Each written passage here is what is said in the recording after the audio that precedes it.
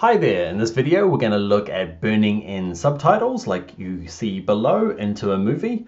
Okay, uh, I apologize for the terrible audio. Uh, my mic's up in another room and there's a baby sleeping and I'm not going in there to get it. So we're going to deal with crappy audio for this video, but let's go off and burn our subtitles in.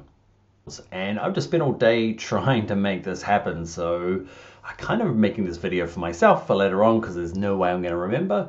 And also for you if you are, you could save a day's work. All right, so I've got this MP4. There's no subtitles on it at the moment.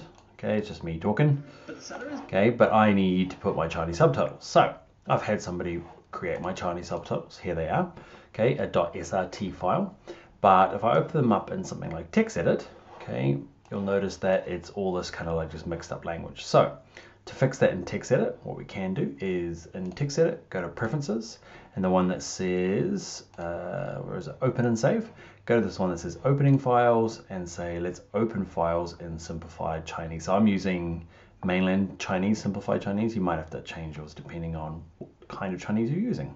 So Simplified Chinese, great close that down and I've found this might be just me doing Huju. I've been at it all day, but if I close everything out and close down um, TextEdit, so there's no TextEdit open, then open it from it.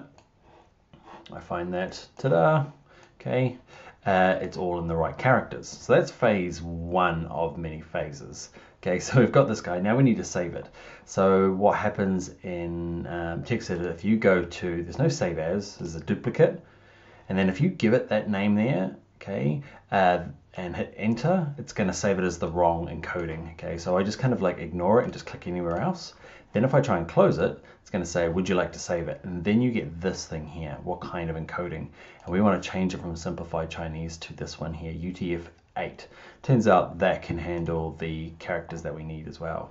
So I'm going to call mine UT UTF-8. You don't need to add that. Okay, I'm just giving it another file name so I don't ruin the initial one. I'm to call that an SRT, otherwise it doesn't. It gives it a TXT file. Okay, so we're getting there. Use SRT, great. Great, close that one down. So I've got this new file here. Here's the one I'm going to use. Now, to burn it in, okay, I can't seem to make this work in Premiere Pro. Doesn't seem to, subtitling in Premiere Pro is terrible. Um, so what we're going to do is something called Handbrake. Okay, Handbrake is free. It's awesome. It's a little encoding program.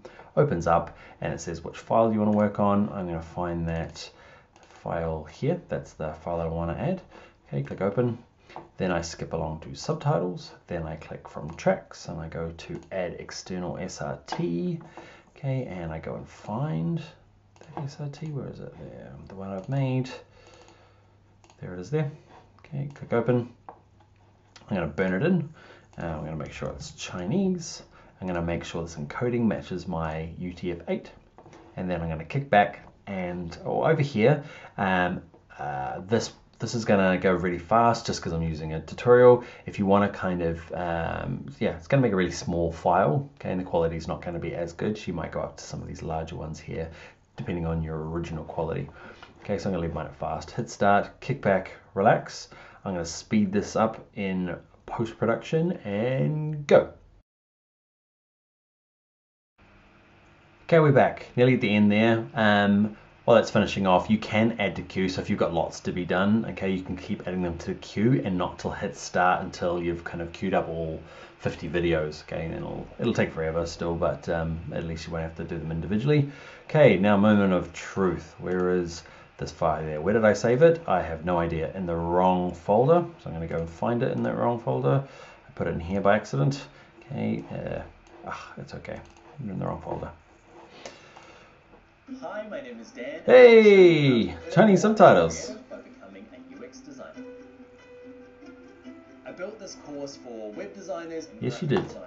Designers. Alright, that's going to be it. If you found it useful and you got yours to work, like and subscribe so that other people can find this um, and save their days from trying to burn in subtitles. Uh, if you want to check out more of my stuff, bringyourownlaptop.com is all of my videos and there's also motion graphics and video editing and web design and graphic design, all that sort of stuff. Go check out that. Um, Alright, that is how to burn in Chinese subtitles. Oh yeah, and I apologize for the terrible audio as well. Um, my mic's in the other room, and I was too lazy to get it for this one. All right. See you later. Bye.